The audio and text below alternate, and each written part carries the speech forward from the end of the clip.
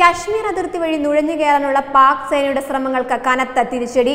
കാശ്മീരിലേക്ക് നുഴഞ്ഞു കയറാൻ ശ്രമിച്ച നാല് ഭീകരരെ വധിച്ചുവെന്ന് കരസേന അറിയിച്ചു. ഇതിലൂടെ അതിർത്തിയിൽ നുഴഞ്ഞു കയറാനുള്ള പാക് സേനയുടെ ശ്രമത്തിന് തക്ക മറുപടി കൊടുത്തിരിക്കുകയാണ് ഇന്ത്യ. ജൂലൈ മുപ്പത്തിയൊന്നിന് രാത്രിയാണ് കേരാൻ സെക്ടറിലൂടെ കാശ്മീരിലേക്ക് നുഴഞ്ഞുകയറ്റ ശ്രമം ഉണ്ടായത്. പാക് സേനയുടെ ബോർഡർ ആക്ഷൻ ടീമാണ് നുഴഞ്ഞുകയറ്റ ശ്രമം നടത്തിയതെന്ന് ഇന്ത്യൻ സേന വെളിപ്പെടുത്തി. ജമ്മു കാശ്മീരിലും പഞ്ചാബിലും ഭീകരാക്രമണത്തിന് സാധ്യതയുണ്ടെന്ന് അടുത്തിടെ ഇന്റലിജൻസ് റിപ്പോർട്ടുകൾ പുറത്തുവിട്ടിരുന്നു. ഇതിന് പിന്നാലെയാണ് ഈ സംഭവം കരസേന പുറത്തുവിട്ടിരിക്കുന്നത്. കൊല്ലപ്പെട്ട നാലു പേരുടെ ചിത്രങ്ങൾ ഉൾപ്പെടെ പുറത്തുവിട്ടാണ് നുഴഞ്ഞുകയറ്റ ശ്രമം തടഞ്ഞിരിക്കുന്നതായി കരസേന അറിയിച്ചത്. നാലു പേരുടെയും മൃതദേഹങ്ങൾ ഇന്ത്യൻ ഔട്ട് പോസ്റ്റുകളോട് ചേർന്ന് തന്നെയാണ് കിടക്കുന്നതെന്നും കരസേന അറിയിച്ചു. മൃതദേഹങ്ങൾ കണ്ടെടുക്കാതിരിക്കാൻ ഇന്ത്യൻ പോസ്റ്റുകൾക്ക് നേരെ പാക് കരസേന നിരന്തരമായി വെടിയുതിർക്കുകയാണെന്നും കരസേന വൃത്തങ്ങൾ അറിയിക്കുന്നു.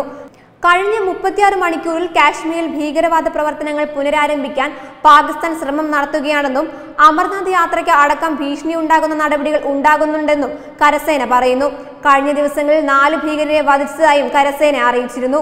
അതേസമയം കാശ്മീരിൽ ഭീകരവാദ പ്രവർത്തനങ്ങൾ പുനരാരംഭിക്കാൻ പാകിസ്ഥാൻ ശ്രമം നടത്തുകയാണെന്നും അമർനാഥ് തീർത്ഥാടകരെ ലക്ഷ്യം വെച്ച് പാകിസ്ഥാൻ തീവ്രവാദികൾ ആക്രമണങ്ങൾ നടത്താൻ ശ്രമിക്കുന്നുവെന്ന് സുരക്ഷാ സേനാ തലവന്മാർ വാർത്താസമ്മേളനം നടത്തി അറിയിച്ചതിന് പിന്നാലെയാണ് ഈ സംഭവം. ഇതിനു മുമ്പ് സോപ്പാരയിലും ഷോപ്പിയാനിലും സൈന്യവും ഭീകരരുമായി ഏറ്റുമുട്ടൽ നടക്കുകയും നാല് ഭീകരർ കൊല്ലപ്പെടുകയും ചെയ്തിരുന്നു. കൊല്ലപ്പെട്ടവരിൽ സീനത്ത് ഉൾ ഇസ്ലാം എന്ന ഭീകരനും ഉൾപ്പെടുന്നതായി സൈന്യം അറിയിച്ചിരുന്നു. രണ്ടായിരത്തി പതിനെട്ട് ഓഗസ്റ്റിൽ ഷോപ്പിയാൻ പോലീസ് സ്റ്റേഷൻ ആക്രമിച്ച് നാല് ഉദ്യോഗസ്ഥരെ കൊലപ്പെടുത്തിയ കേസിൽ മുഖ്യപ്രതിയാണ് പിടിയിലായ സീനത്ത് ഉൾ ഇസ്ലാം. രണ്ടായിരത്തി പതിനെട്ട് ഓഗസ്റ്റിൽ ഷോപ്പിയാൻ പോലീസ് സ്റ്റേഷൻ ആക്രമിച്ച് നാല് ഉദ്യോഗസ്ഥരെ കൊലപ്പെടുത്തിയ കേസിൽ മുഖ്യപ്രതിയാണ് കൊല്ലപ്പെട്ട സീനത്തുൽ ഇസ്ലാം. സംസ്ഥാനത്ത് തങ്ങുന്ന അമർനാഥ് തീർത്ഥാടകരോടും വിനോദസഞ്ചാരികളോടും എത്രയും പെട്ടെന്ന് മടങ്ങിപ്പോകാൻ സർക്കാർ ആവശ്യപ്പെട്ടിരുന്നു.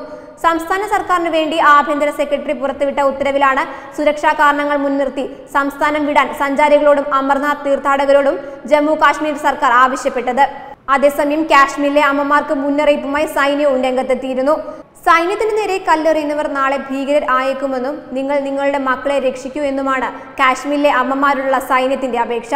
ചരിത്രം പരിശോധിച്ചാൽ കാശ്മീരിലുള്ള എൺപത്തിമൂന്ന് ശതമാനം പ്രാദേശിക ഭീകരരും അവരുടെ കുട്ടിക്കാലത്ത് സൈന്യത്തിന് നേരെ കല്ലെറിഞ്ഞിട്ടുള്ളവരാണ്. അതിനാൽ അമ്മമാർ അവരെ ശ്രദ്ധിക്കണം. അഞ്ഞൂറ് രൂപയ്ക്ക് വേണ്ടി ഇന്ന് നിങ്ങളുടെ കുട്ടികൾ കല്ലെറിയുന്നുവെങ്കിൽ അവർ ഭാവിയിൽ ഭീകരരാകുമെന്നും കമാൻഡിംഗ് ഓഫീസർ ദില്ലനാണ് ഇക്കാര്യം വ്യക്തമാക്കിയത്. ഭീകര സംഘടനയുടെ ഭാഗമായി കയ്യിൽ തോക്കുമേന്തി ഒരു വർഷത്തിനുള്ളിൽ മരണമടഞ്ഞവരാണ് കാശ്മീരിലെ അറുപത്തിനാല് ശതമാനം ഭീകരരുമെന്നും അദ്ദേഹം വ്യക്തമാക്കി. കുട്ടികൾ കല്ലെറിയുന്നതിൽ നിന്ന് അവരെ പിന്തിരിപ്പിച്ചില്ലെങ്കിൽ ഭീകരനായി തോക്കു കയ്യിലെടുത്ത് ഒരു വർഷത്തിനുള്ളിൽ അവരുടെ ജീവൻ തന്നെ നഷ്ടമായേക്കാം. കാശ്മീരിനെ വികലമാക്കാൻ കഴിയാത്തതിൽ പാകിസ്ഥാൻ കടുത്ത നിരേശയിലാണെന്ന് ഇന്ത്യൻ രഹസ്യാന്വേഷണ വിഭാഗം വ്യക്തമാക്കുന്നു. കഴിഞ്ഞ കുറെ നാളുകളായി പുൽവാമ ഷോപ്പിയാൻ പ്രദേശങ്ങൾ കേന്ദ്രീകരിച്ച് സ്ഫോടനം നടത്താൻ പാകിസ്ഥാൻ ലക്ഷ്യമിട്ടിട്ടുണ്ടെങ്കിലും അവരുടെ നീക്കങ്ങളെല്ലാം സൈന്യം തകർക്കുകയായിരുന്നു. കഴിഞ്ഞ കുറേ നാളുകളായി പുൽവാമ ഷോപ്പിയാൻ പ്രദേശങ്ങൾ കേന്ദ്രീകരിച്ച് സ്ഫോടനം നടത്താൻ പാകിസ്ഥാൻ ലക്ഷ്യമിട്ടിട്ടുണ്ടെങ്കിലും അവരുടെ നീക്കങ്ങളെല്ലാം സൈന്യം തകർത്തെന്നും കമാൻഡിംഗ് ഓഫീസർ കൂട്ടിച്ചേർത്തു. വെബ് ഡെസ്ക് തത്തുമൈ ന്യൂസ്.